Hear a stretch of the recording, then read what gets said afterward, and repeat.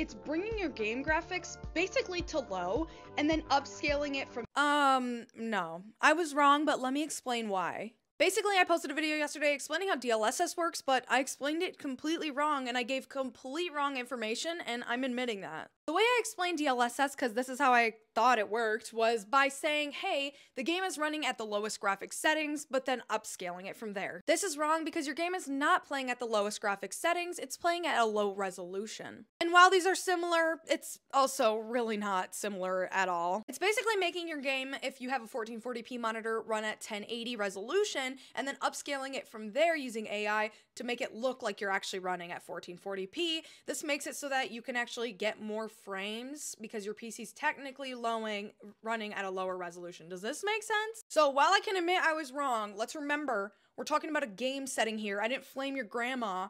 So let's keep the mean comments to a minimum, please.